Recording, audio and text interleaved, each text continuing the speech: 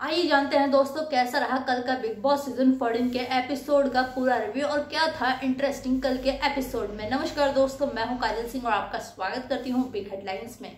दोस्तों, अगर हम बात करें बी बी फोर्टीन के, कल के एपिसोड के बारे में तो कल का एपिसोड जो है ज़्यादा कुछ खास मुझे नहीं लगा, क्योंकि कल के एपिसोड में हमने देखा कि जो टास्क है वो कंटिन्यू होता हुआ नज़र आया, जहाँ पे निकी तांबोली और जैस्मिन भसीन एक दूसरे से भिड़ गई टास्क में।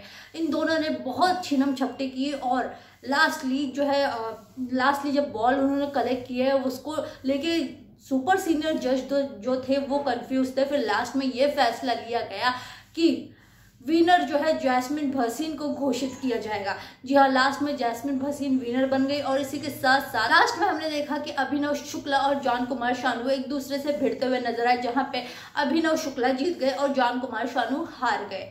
शो में हमने देखा कि निकी तांबोली किस तरीके से जान कुमार शानू को कहती है कि तुम मेरे लिए एक गाना गाओ, फिर मैं तुम्हें अपना दोस्त मानूँगी। जान जो है बहुत मेहनत से वो गाना ढूंढ के लाता है और वो डेडिकेट करता है निकी को। वेल well, इसके बाद शो में बहुत सारे ट्विस्ट आए। पवित्र पुनिया जो है काफ़ी हाइपर हो गई थी।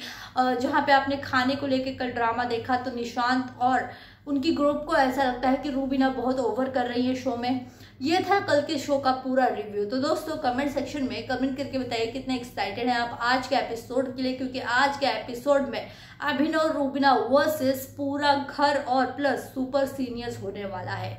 तो दोस्तों कमेंट सेक्शन में कमेंट करके बताइए कितने एक्साइटेड हैं आप आज के एपिसोड के लिए और अगर अभी तक आपने हमारे चैनल को सब्सक्राइब नहीं किया तो जल्दी से कर दीजिए ताकि जितने भी लेटेस्ट अपडेट है मैं आप तक सबसे पहले पहुंचाती रहूँ और अगर आप ये वीडियो फेसबुक पे देख रहे हो तो हमारे पेज को लाइक करें। Thank you so much